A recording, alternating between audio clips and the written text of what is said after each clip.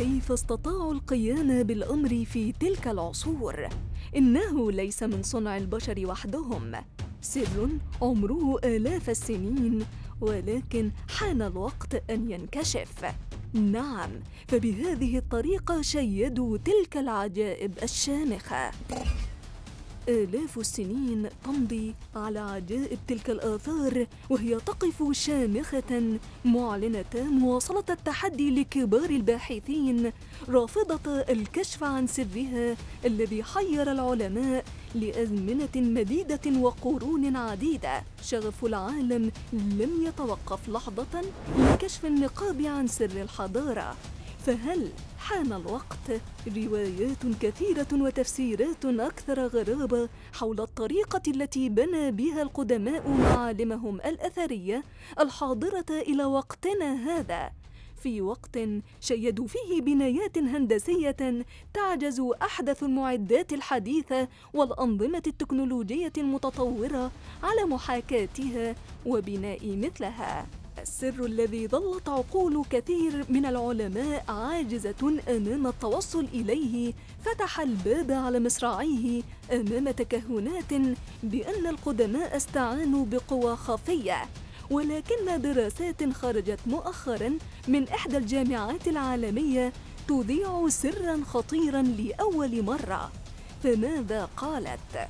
عالم الفيزياء التجريبية والرياضيات التطبيقية في جامعة نيويورك ليف ريستورف يقول إن النتائج التي توصلنا إليها في البحث الذي أجريناه قصة أصل كشفت سرا خطيرا حول الطريقة التي جرى نحت أبو الهول بها.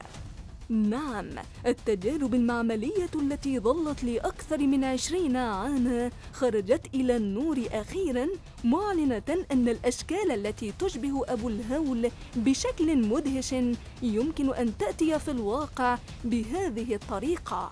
الشغف الذي تملك ريستارف وزملائه قادهم إلى تجربة نتائج بحثهم بشكل عملي أحضروا قطعا من الطين تحتوي على خليط من القطع الناعمة والصلبة في طيارات مائية سريعة التدفق ثم أخضعوها لنفس الطريقة وكانت النتائج مذهلة. التجربة أفرزت كتلا ملتوية من الحجر ترى في العديد من المناطق الصحراوية. هذا الأمر بإمكانه أن يشكل حتى أصعب وأضخم التكوينات الصخرية إلى هياكل ملتوية بذات الطريقة.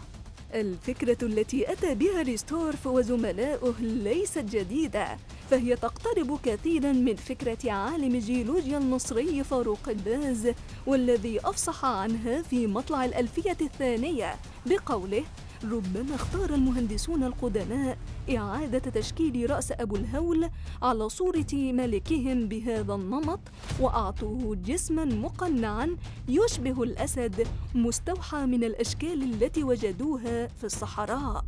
لقد توصلت الدراسات إلى أن شكل الأسد المتكئ لهذا التصميم من كتلة واحدة من الحجر الجيري لم يكن من الممكن نحته بأيد بشرية بل بالرياح سريعة التدفق الرواية الحديثة تزعم أن تآكل أبو الهول مستمر حتى اليوم وأن عجائب الآثار المصرية لم تكن لتنجو من بيئتها القاسية لفترة طويلة.